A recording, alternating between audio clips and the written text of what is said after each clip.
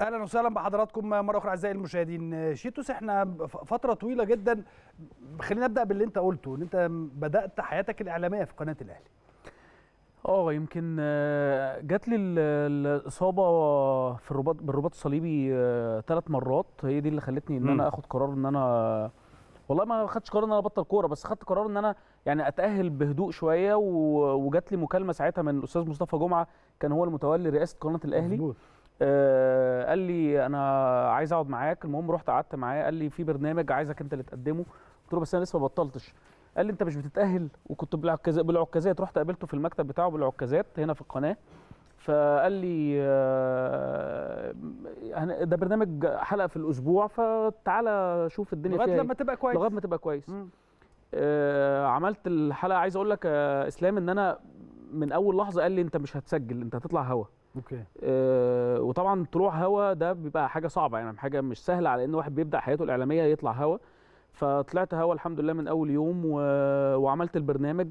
إدى انطباع للناس بقى إن أنا بطلت. بطلت. آه يعني دي كانت من ضمن الغلطات. لو رجع بيا الزمن ممكن ما كنتش أعمل ده. فعلا؟ آه ما كنتش أعمل ده في الوقت ده لأن آه، الناس بتاخد بالمظهر. أنت كان عندك كام سنة ساعتها؟ 28 مم. الناس بتاخد بالمظهر فقال لك أنت بطلت خلاص.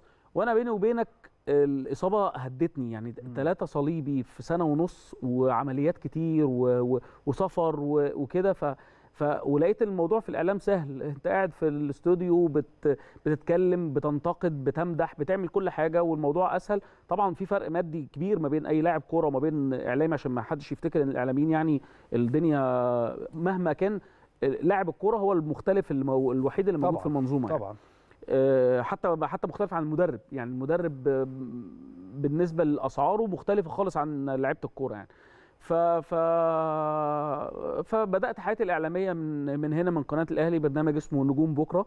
يمكن التطور بتاعه دلوقتي البرنامج اللي. بيقدمه إسلام آه، اللي. بيقدمه أسامة حسني آه، الأشبال وبرنامج مميز جدا وأسامة عامل شغل كويس قوي فيه آه، ويمكن أنا على تواصل مع أسامة على طول ويعني على طول بحب إن أنا بص أنا حبايبي دايما يا إسلام بحب إن أنا دايما يعني أقول لهم تعليقاتي سواء الإيجابية أو السلبية بحيث إن. يعني يخلي بالهم أو يعملوا حاجة يزودوها لو حاجة كويسة فبدأت حياتي الإعلامية هنا وبعد كده بقى تدرجت في في الإعلام رحت بقى عملت برنامج تاني في قناة النهار رياضة وبعد كده رحت قناة دريم يعني عملت شوية لفيت لفة وبعد كده رحت لل- لل- لل- تدريب للتدريب بقى. آه. وأنا في الإعلام جات لي حالة زهق.